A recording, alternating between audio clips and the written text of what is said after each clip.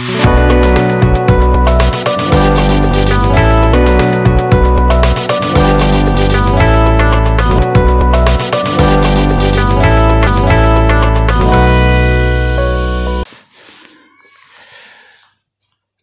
दोस्तों, स्वागत है आपका। आप देख रहे हैं संजीव वर्मा राइजिंग संघ।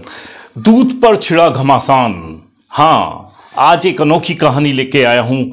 लास्ट तक देखिएगा। अब दूध की लड़ाई शुरू हो गई है। अमूल मिल्क प्रोडक्ट का बाइकआउट हो रहा है। कहाँ हो रहा है? क्या ये पॉलिटिकल गेम है या वास्तव में कुछ इसके पीछे है? पूरा बताएँगे। दोस्तों, जहाँ पुराने समय में मेरे देश में दूध की नदियाँ बहा करती थीं, पशुधन को एक एसेट के रूप में माना जाता था। घर घर में दूध और दही का उत्पादन होता था। वहीं अब दूध और घी का बिज़नेस एक बड़े कॉरपोरेट के रूप में तैयार हो गया है। मुनाफे का एक व्यापार हो गया है।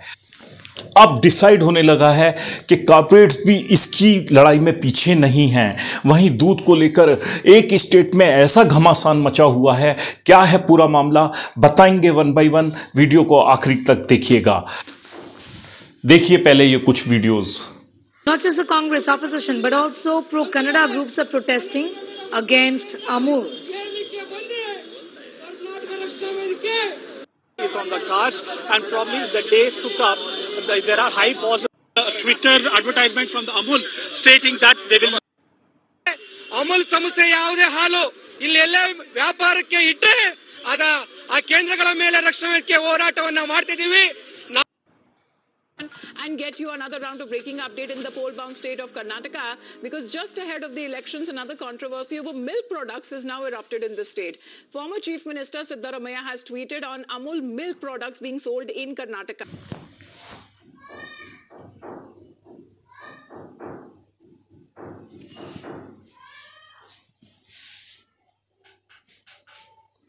जी हाँ दूध पर जंग, आखिर क्या है अमूल और नंदनी का विवाद? नंदनी एक कर्नाटक का नंबर वन मिल्क ब्रांड है, जो अमूल की एंट्री से परेशान है। इसको एक पॉलिटिकल मुद्दा बना दिया गया है। दरअसल, पाँच अप्रैल को अमूल ने के कॉरपोरेट ऑफ़िस से एक ट्वीट किया गया, अमूल के ऑफ़िस से एक ट्वीट किया गया कि वो बेंगलुरु में एंट्री ले रहे हैं और दूध और दही के उत्पादन की आपूर्ति अब वो कर्नाटक में भी करेंगे।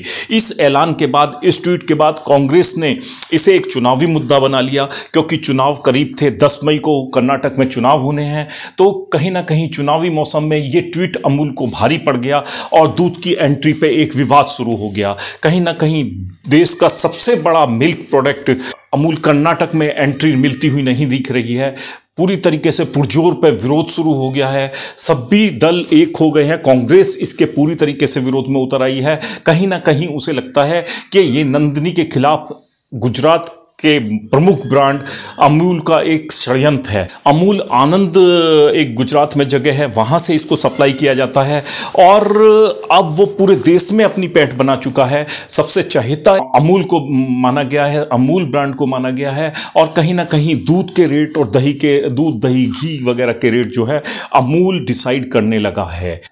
किस स्टेट में क्या रेट होंगे, एक तरीके से अमूल पूरी तरीके से उसका इन्फ्लुएंस रहता है। जहाँ नंदनी एक कर्नाटक का ब्रांड है और वहाँ से सप्लाई किया जाता है तो कहीं ना कहीं वहाँ के नेताओं को, कांग्रेसी नेताओं को ये लग रहा है कि ये नंदिनी के खिलाफ एक षड्यंत्र है और नंदिनी पे कब्जा करने का अमूल का एक बहुत बड़ी चाल है। तो बहुत सारे एंटी गवर्नमेंट पार्टीज़ हैं, वो एकजुट हो गई हैं जेडीएस हो, कांग्रेस हो, वो सब एकजुट होके इसके समर्थन में उतर आई हैं कि हम नंदनी को यहाँ चलने देंगे, अमूल को नहीं चलने देंगे। उनका मानना है, अमूल की स्टेट में, राज्य में ज़रूरत नहीं है। उनके यहाँ खुद नंदनी के अलावा और 11 ब्रांड हैं, जबकि 70 परसेंट मार्केट नंदनी के पास है। कर्नाटक के कांग्रेसी नेताओं का कहना है, हमारा दूध और हमारी मिट्टी बहुत मज़बूत है। हम इसी के बल पे अपने स्टेट को आगे बढ़ाएँगे। नंदनी ब्रांड एक तरीके से कर्नाटक मिल्क फेडरेशन का द्वारा मार्केटिंग किया जाता है। नंदनी बेंगलुरु में मिल्क सप्लाई करने वाले सबसे बड़ा ब्रांड है। बेंगलुरु में जो मिल्क सप्लाई होता है, बेंगलोर में मिल्क सप्लाई करने वाला सबसे बड़ा ब्रांड जो है नंदनी है।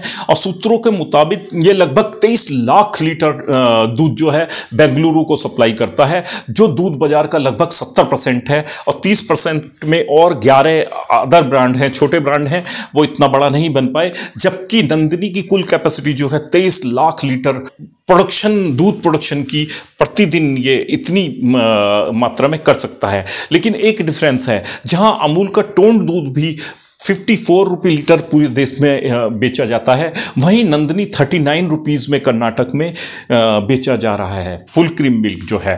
तो जनता को भी ये भी लग रहा है अमूल के एंट्री के बाद कहीं ऐसा ना हो मिल्क महँगा हो जाए, दूध महँगा उन्हें मिलने लगे, क्योंकि अमूल जहाँ भी जाता है, अमूल डिसाइडिंग फैक्टर हो रहा है एक तरीके से मिल्क का रेट हर साल में दो बार बढ़ाया जाता है और धीमे धीमे धीमे धीमे मिल्क का रेट बढ़ता चला जाता है। लोकल जो मिल्क सप्लायर हैं मिल्क प्रोडक्शन करने वाले किसान हैं, वो भी उसी रेट में मिल्क बेचने लगते हैं। ये इस तरीके की कुछ वीडियो हैं। अमूल को पैरों के तरह रोंदा जा रहा है। सबसे चहेता ब्रांड है देश का।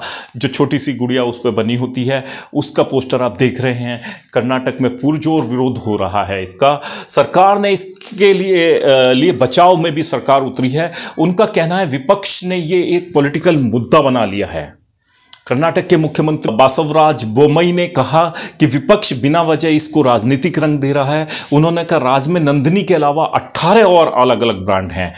ग्यारह नहीं है, अट्ठारह ब्रांड अलग अलग हैं, जो मिल्क प्रोडक्ट बेचते हैं। नंदनी हालाँकि 70 परसेंट का मार्केट शेयर लिए हुए है और नंदनी देश का प्रमुख ब्रांड है और बेंगलुरु में ये सबसे प्रमुख है। अमूल के आने से नंदनी को भी फ़ायदा होगा। प्रतिस्पर्धा से क्या हो, आ, होता क्या है कि जनता को उसका फ़ायदा मिलता है। लेकिन ये शायद कहीं ना कहीं असलियत से परे है, क्योंकि अमूल की एंट्री के बाद रेट बढ़ जाता है। तेईस लाख लीटर दूध की नंदिनी सप्लाई करता है अकेले बेंगलुरु में।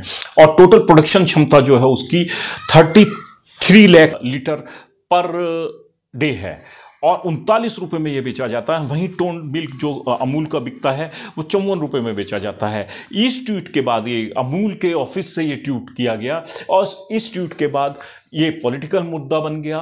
कर्नाटक मिल्क फेडरेशन के खिलाफ इसको एक षडयंत्र बताया गया, जबकि अमूल, जो बेस्ट कोऑपरेटिव सोसाइटी के जीसी एमएनएफ अमूल के जो ब्रांड हैं, जिनकी तरफ़ से ये ट्वीट किया गया, उनको ये माना जा रहा है कि नंदिनी को ख़त्म करने की तैयारी है, और नंदिनी अभी हमारा प्रमुख लोकल ब्रांड है, और वो सही रेट में thirty nine rupee per litre में फुल क्रीम मिल्क हमें मिल जाता है। तो कहीं ना कहीं अमूल की एंट्री के बाद मिल्क महँगा हो जाएगा, और ये कहीं ना कहीं राजनीतिक मुद्दा भी बनता चला जा रहा है। तो नंदनी और अमूल का अगर जो मोटा मोटा एक कंपेरिजन करेंगे कंपनी का 1974 में नंदनी फाउंडेड की गई नंदनी ग्रुप जो फाउंड हुआ, और जबकि अमूल जो है देश की आज़ादी के साथ साथ 1948 में ये अमूल ग्रुप का फाउंडेशन हुआ था और अमूल को एक श्वेत क्रांति के रूप में भी इसको जन्मदाता कहा जाता है।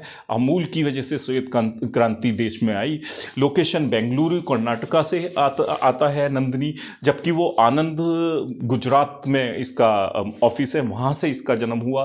टर्नओवर अगर बात करेंगे तो उन्नीस करोड़ की टर्नओवर है नंदनी ग्रुप की, और जबकि पैंसठ करोड़ की टर्नओवर है अमूल की। तो कहीं भी कम कंपेरेटिव एनालिसिस देखेंगे, बहुत अमूल के मुकाबले कमज़ोर ब्रांड है, कुछ ही स्टेट में मटके रह गया है, और 2.4 मिलियन प्रोड्यूसर हैं इसके। इतने किसान दूध पैदा करते हैं, जबकि अमूल में 3.64 मिलियन जो फार्मर्स हैं, वो दूध प्रोडक्शन करते हैं, दूध की पैदावार करते हैं, और अमूल तक पहुंचाते हैं। टोटल मिल्क टेंडरिंग कैपेसिटी जो है one million litre per day है।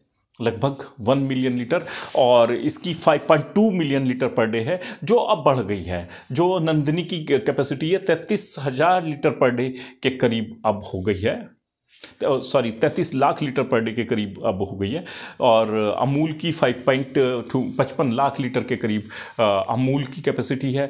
एवरेज मिल्क कलेक्शन इक्यासी लाख लीटर जो मिल्क कलेक्शन होता है, बाकी प्रोडक्ट बनाए जाते हैं। जबकि इसका जो है 26 मिलियन दो करोड़ तिरसठ लाख लीटर दूध का कलेक्शन अमूल के द्वारा किया जाता है। तो ये लड़ाई अब सड़क पे उतर आई है।